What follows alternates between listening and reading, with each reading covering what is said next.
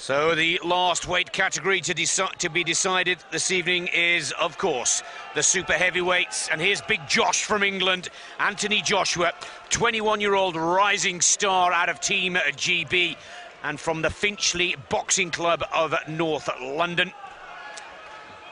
This young lad is making headway at a rapid rate and will be remembered in these World Championships, if for nothing else, for knocking out the Italian Olympic and reigning world champion and Erik Pfeifer of Germany, a former European champion, twice a national champion, is a worthy opponent for Joshua Castle, I want to ask you a quick question before we get into this bout. We can read the graphics and the skills, but uh, you calling the fight between uh, Cammarelle and uh, Anthony Joshua, and was he as good as we read in the papers this morning? He sure was. I mean, this, this guy continues to impress me. I've been watching him since the preliminaries began.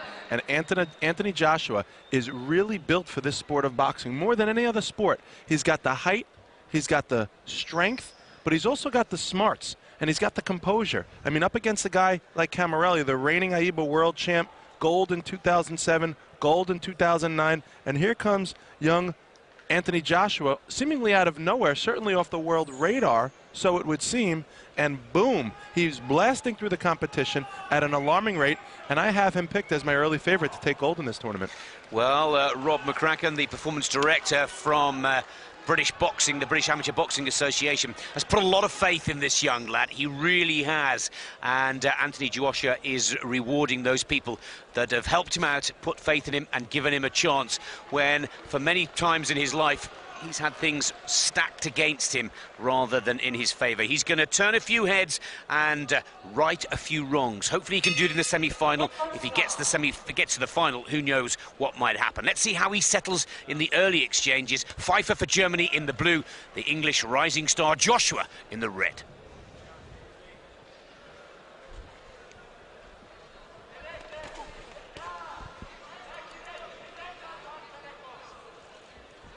I mean, if for nothing else, look at look at how impressive his size is. I mean, he's really built. He's got pipes for arms.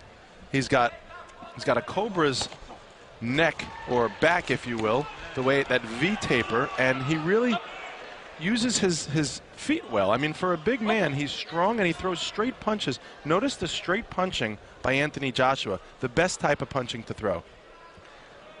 Also for a big man as well, he's got some agility in there. He can move quickly, he can move out of trouble. Those angles that you were explaining to us with some of the lighter men, Joshua has those skills as well. Yeah, he's, he's really well grounded, and Rob McCracken has done a wonderful job with him to date. Quite a formidable opponent for any of the men in this World Championships not the least of which Mr. Cammarelle, who sensed that firsthand. Olympic champion and world champion, knocked out in the quarterfinals by Anthony Joshua. Now, let's see if he can dispose of Pfeifer and book himself a spot in the last round. It's a good start by Big Josh, as they call him. Only 21 years of age. He'll celebrate his 22nd birthday on the 15th of October. Wouldn't that be the perfect birthday present? Nice little gold medal around your neck. Yeah, it sure would. He could wear that one with pride.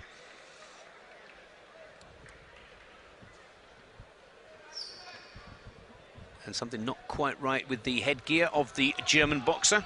24 years of age. Fair to say Erik Pfeifer's got a good reputation, good straight-up boxer, Pfeifer. And a European title to his name back in 2009.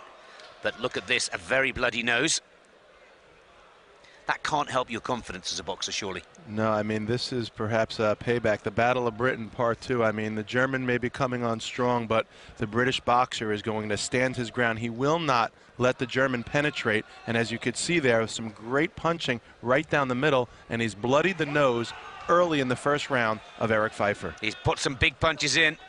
You can see the size of Joshua. And there's a little more urgency now to the counter-attacks from the German. He knows that he can't afford to take any more big hits from Anthony Joshua. And again, he's got to go back to the ring. Yeah, this is um, this is going to be a problem, I think, for Pfeifer throughout the remainder of this round. He may just be a bleeder, and once it starts, it's really hard to stop. And you know what? Even if the doctors are able to stop it, it's not going to be long before Joshua opens it up again. Those straight punches are coming with such force. And I think that's it. It is. Oh my goodness me. What a magnificent performance. England's Anthony Joshua has done it again. Have they stopped the fight in the first round? Enough is enough. Those big heavy blows. Or am I mistaken? It sure was, and you know what? The blitz. It's over. Oh, I can't believe it, Castle. The blitzkrieg that was Erik Pfeifer, no more, and Anthony Joshua now sitting at the top of the ah. heavyweight or super heavyweight division. He'll have one more man to get through tomorrow night. Hadn't even reached the halfway point of the first round, and Britain's new star of the super heavyweight decision books himself a spot in the final. Do we have the next Audley Harrison on our hands here, the last heavyweight to win Olympic gold in Sydney in 2000? This man's already on his way to London 2012, and now he's on his way to the final of the World Championships. The referee stops the contest halfway through the opening round. And not only that, but such a humble young man. Look at this. He's going around. He makes sure his opponent is okay. He thanks the referee. And now he looks to the fans and he thanks them as well. This is someone you really need to look out for. Anthony Joshua, a rising star. What a night for British boxing. Three out of four have gone through to their final round. Selby is through. Campbell is through. And now Big Josh from Finchley in London has booked himself a spot in the finals of the World Championships here in Azerbaijan. And this man just goes from strength to strength, knocking out the Olympic and world champion in the quarterfinals. Now he's disposed of Germany's best in the semis.